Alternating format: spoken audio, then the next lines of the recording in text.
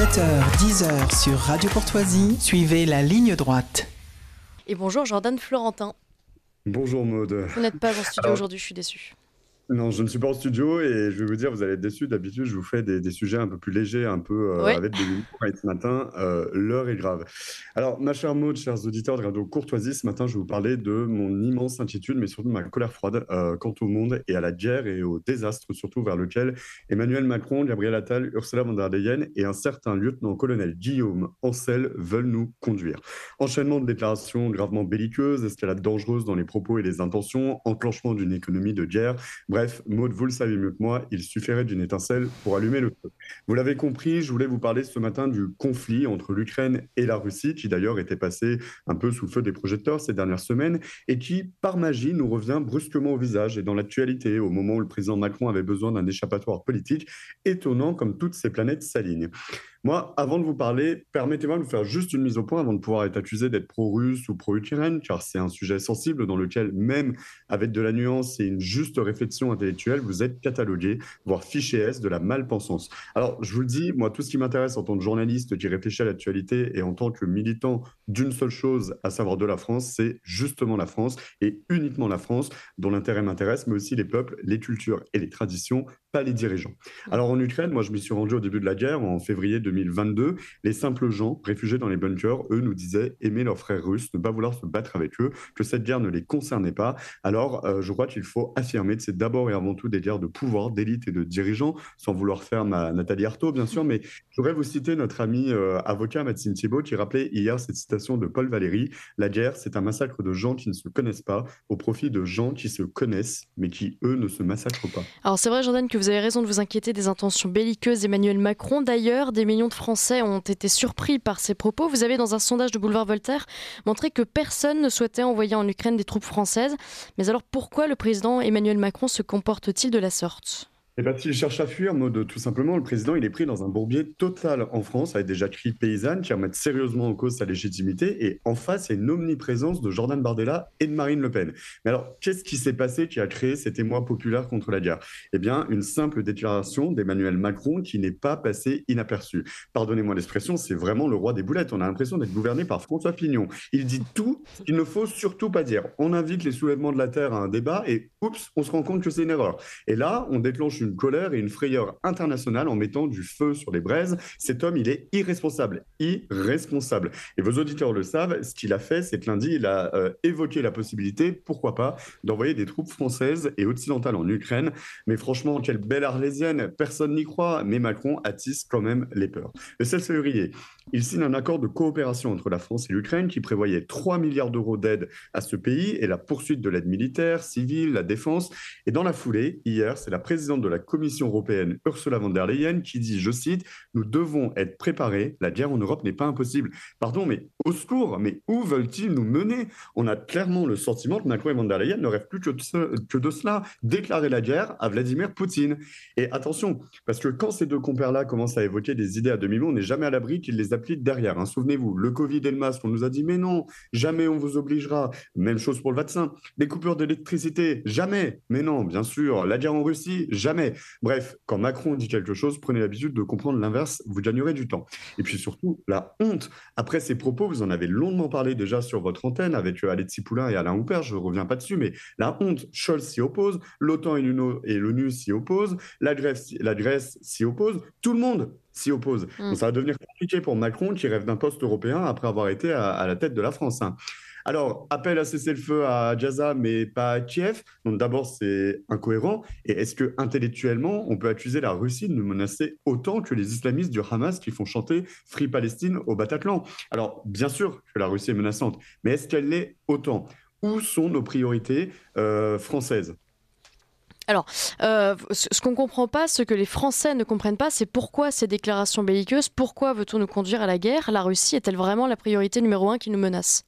Et là, vous posez une question euh, excellente, Maud, la seule qui vaille d'ailleurs. Quand on entend Darmanin nous dire la Russie est le principal ennemi de la France, Gabriel Attal Attal angoissé Où va s'arrêter la Russie? On se demande s'ils ont oublié nos autres ennemis que sont le Hamas ou les migrants qui violent nos grands-mères. Pour l'instant, moi, je n'ai jamais vu un Russe attaquer au couteau l'un des nôtres dans la rue. Hein. Et attention, en disant cela, je ne dénie nullement la menace russe, évidente, qui pèse sur nous, notre sécurité, nos marchés. Mais enfin, vous avez raison de me poser la question, mode est-ce la priorité numéro un Je rappelle qu'Attal et Darmanin sont à la tête d'un pays où les seules zones de non-droit en France se comptent sur les doigts d'une main, au fin fond de la Lozère ou de l'Aveyron, que sais-je, à la tête d'une France où les islamistes et les frères musulmans sont partout à l'école et dans les clubs sportifs, à la tête d'une France dont l'économie s'effondre et où la paysannerie crève pendant qu'on verse des milliards d'euros à l'Ukraine dans l'immigration légale et illégale et dans l'aide médicale d'État, et à la tête d'un pays qui loge des migrants dans des châteaux pendant qu'il y a un SDF par rue dans notre capitale à 150 jours de JO. Et c'est quoi la crainte et la priorité de messieurs Attal et Darmanin? La Russie. Non mais rendez-vous compte. Alors oui, on va nous répondre, la politique, c'est prévoir. Eh bien, ça tombe bien. Les renseignements de tous les pays européens confirment qu'aucune attaque n'est anticipée. Alors, je vous le disais, Maud, c'est une tentative de diversion de Gabriel Attal et d'Emmanuel Macron sur le RN, comme à chaque fois, et plus encore maintenant, après la dramatique séquence au salon. Oui, quand on compare les séquences du président et celles de Jordan Bardella, honnêtement, il y a lieu de s'inquiéter du côté de l'Élysée. Selfie et déclaration d'amour d'un côté, G2 et coup de fourche de l'autre. Bref, Macron a juste voulu détourner notre attention en changeant Alors Emmanuel Macron, Gabriel Attal et von der, Leyen ne sont pas les seuls à avoir ces attitudes d'escalade. Vous avez regardé en détail l'interview du porte-parole de l'ambassade de Russie en France, Alexander Makogonov, reçu mardi par nos confrères de BFM TV et vous souhaitez nous le décrypter. Maud, euh, honnêtement, je vous le dis assez gravement et j'invite vos auditeurs à aller voir cette séquence. Moi, elle m'a sérieusement donné froid dans le dos. D'abord, journalistiquement, c'est une catastrophe. Alors, on n'est pas étonné hein, de la part de nos confrères de BFM et notamment de Christophe Barbier, mais alors, c'est vraiment tout ce qu'il ne fallait pas faire. Le plateau a mené un véritable interrogatoire musclé du porte-parole russe en l'accusant de tous les maux de la terre, en le traitant avec un mépris pour descendance folle, alors qu'il pouvait simplement lui poser les questions qui fâchent et creuser sur potentielle ingérence russe sans pour autant créer un climat d'extrême tension comme le fait déjà Emmanuel Macron. Alexander Makodonov, il passe pour le pacificateur, alors qu'il est le porte-parole de l'agresseur. Il pose la question, où sont les limites de cette spirale de folie? Tout le long de l'interview, il défendra l'idée que la Russie va mettre fin à la guerre, peu importe la méthode diplomatique ou militaire, et que la faute ne lui incombe pas à elle, pas à la Russie, mais, je cite, au régime ukrainien en place depuis le coup d'État de 2014, eh ben, très bien, il est porte-parole du Kremlin, il fait son travail, et il a compris qu'il devait rassurer plutôt que de faire peur comme Macron et Ursula von der Leyen. Alors il affirme, en se voulant pacifiste, appeler le régime de Kiev aux négociations plutôt que de leur fournir des armes. Mais au lieu de lui poser des vraies questions journalistiques neutres, la présentatrice, Julia Matt, elle s'est enfermée dans une spirale belliqueuse, presque va-t-en-guerre elle aussi, en accumulant les c'est votre faute, euh, la France doit répondre, avec une arrogance folle, celle typique de ces nouvelles journalistes incapables de rester distants de leur sujet et qui ne peuvent s'empêcher d'y aller de leurs petits commentaires, punchline, sourire narquois pendant que leur invité répond. Était-ce vraiment nécessaire d'attiser aussi la haine et la colère sur le plateau? Je ne le pas. Mais je voudrais finir, Maude, en vous parlant de l'un des invités de ce plateau, qui s'ajoute à la liste des belliqueux va guerre que sont déjà Macron et Van der Leyen, un certain lieutenant-colonel Guillaume Ancel, qui a pour fait d'arme le fait de se moquer de l'école de Saint-Cyr, qu'il accusait d'avoir 40 ans de retard dans son style d'éducation, trop ferme selon lui, trop autoritaire, qu'il euh, et, il accusait aussi la France, dans un livre, d'avoir des méthodes presque nazies dans ses interventions au Rwanda, hein, c'est vous dire le personnage. Mm. Alors, avec un ton extrêmement euh, méprisant et condescendant, il a reproché à l'ambassadeur de méconnaître des liens supposés entre le RN et la Russie, alors que bah, il n'y en a peut-être tout simplement pas, d'abord, et qu'ensuite ce n'est pas le sujet. Et le porte-parole lui répond même comment pourrions-nous avoir des liens avec des gens qui considèrent la Russie comme agresseur il y va ensuite de pique en invective envers le russe euh, qui est présent sur le plateau. Rien qui ne soit fait pour calmer la tension entre les deux pays. Mais pire que cela, accrochez-vous bien, Maude, M. Guillaume Ancel va jusqu'à insinuer que le RN pourrait enfermer ses opposants vous retrouverez le passage exact sur mon compte Twitter. Bien sûr, euh, c'est sûr, hein, la construction de goulag, elle est évidemment prévue dans le programme présidentiel de Marine Le Pen. Hein. on aura des sévices corporels qui seront infligés à tous ceux qui ne louent pas les grâces de la présidente. On va torturer les gens avec des guilis s'ils n'ont pas encore leur mug à l'effigie de Jordan Bardella. Maude, si vous osez critiquer le futur ministre de l'énergie, Jean-Philippe Tanguy, vous serez fouetté 36 euh, fois. Et j'ai même entendu dire qu'on empoisonnerait tous les Français qui ne seraient pas propriétaires de chats. Mmh.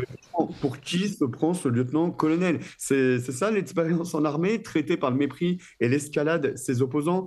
Mais et puis honnêtement, qui peut croire que Marine Le Pen ferait du mal à une mouche? Il faut vraiment que ces gens arrêtent de parler de géopolitique. Ils ne font que nous conduire vers plus de haine et d'escalade. Et Monsieur Barbier, il faut qu'il arrête d'agiter le chiffon rouge, hein, euh, voire son écharpe rouge. Alors, allez au front si vous voulez, mais n'embarquez pas tout le monde dans votre folie. C'est quand même amusant de noter que ceux qu'on accuse d'être extrémistes en France sont en réalité les moins radicaux. Marine Le Pen, elle appelle à tempérer, et Jean-Luc Mélenchon et Mathilde Panot militent pour la paix. je vais vous dire, ils ont raison.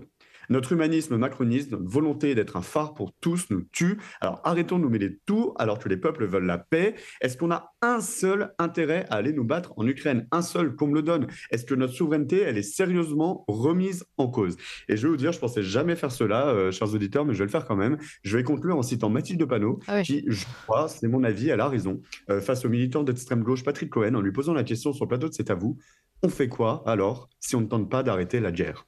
Oui, Mathilde Panot ou quelqu'un d'autre. Hein. c'est terrible de citer Mathilde Panot à l'antenne de Radio Courtoisie. Je vous remercie, Jordan Florentin.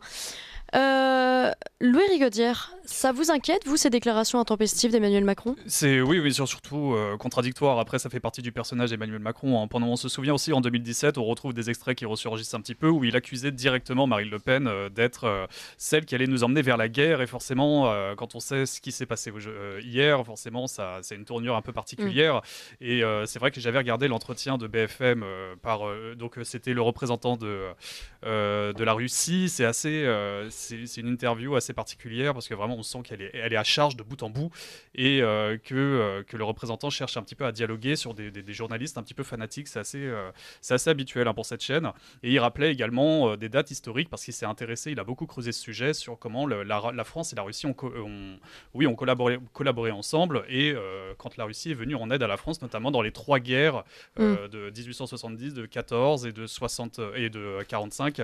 Et c'est, là voilà le, le, le rôle fondamental de la Russie et elle ne comprend pas finalement le comportement de la France envers elle. Et ça, c'est assez symptomatique. Marie Falicon. Eh ben, Louis Rigaudière a eu raison de le dire. Il nous avait dit euh, Macron ou la guerre avec Marine Le Pen, et puis on aura les deux. Macron et la guerre, d'abord sur notre sol, bien sûr, avec cette guerre des peuples qui ne mm. peuvent cohabiter ensemble, et puis euh, évidemment cette guerre peut-être qui arrive euh, dans l'Europe de l'Est avec l'Ukraine et la Russie, où la France veut s'engager de façon complètement folle. Et c'est voilà, bravo Jordan Florentin de, de l'avoir rappelé aujourd'hui d'une telle façon. Et le temps a bien sûr répondu à, cette mm. déclaration euh, intempestive d'Emmanuel Macron en disant que jamais, enfin en tout cas ce n'était pas question pour l'instant d'envoyer des troupes.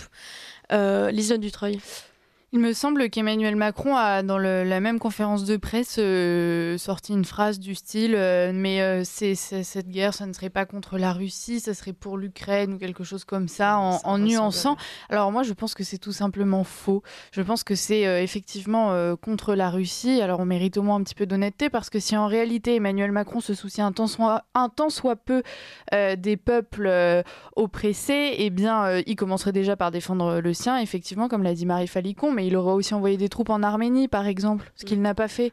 Donc euh, mm. voilà, je, pense qu'une fois de plus, il se moque de nous, mais moi j'ai du mal à le prendre au sérieux et je pense que, comme l'a dit Jordan Florentin, euh, bien que les propos soient graves, parce qu'évidemment euh, ils doivent résonner aux oreilles de Poutine, je pense que c'est surtout une tentative de diversion parce qu'il perd pied complètement sur son, sur son propre sol. On a du mal à le prendre au sérieux, mais en même temps, lui se prend très au sérieux et c'est bien ce qui nous inquiète finalement. Oui, et puis le service après-vente essaye vraiment de tempérer mm. un petit peu ce qui s'est dit et finalement on parlait pas vraiment de soldats, on parlait de des mineurs ou d'ingénieurs sur place ou de mécaniciens à la limite pour vraiment voilà tempérer ce qui s'est passé parce qu'il a réussi. Il y a eu deux moments où il a eu l'unanimité contre et avec lui, c'est au moment de l'invasion de, de l'Ukraine par la Russie. Là, tout le monde était choqué, etc. unanimement. Et puis là, quand il a déclaré euh, euh, envoyer des soldats probablement, là forcément de tous les partis, de tous les pays, là il a, il a du mal à trouver un allié. Et donc forcément, et là ça n'a rien à voir, mais ça lui ça l'arrange bien. L'IVG dans la Constitution, c'est un excellent moyen de basquer euh, cet échec cuisant. Euh, Jordan Florentin, vous avez 20 secondes pour conclure si vous le souhaitez. Oui, juste en fait, euh, pour faire la guerre, il faut euh, prendre en compte trois éléments. Un, c'est le soutien euh, du peuple et les Français n'y sont absolument pas prêts. D'abord, il n'y a pas d'unité de la nation. Deuxièmement, c'est si on veut une guerre européenne, c'est un soutien de tous les pays européens et on l'a on dit, bah, il n'y en a pas. Et troisièmement, c'est en avoir les moyens. Or, je vous invite à aller voir et tous les papiers sur l'état de l'armée française. C'est désastreux. Donc, je pense que mm, Macron est bien téméraire de vouloir se lancer dans quelque chose. il faut avoir les, les moyens de sa prétention. Bien, merci beaucoup, Jordan Florentin. Merci à tous pour cette zone libre.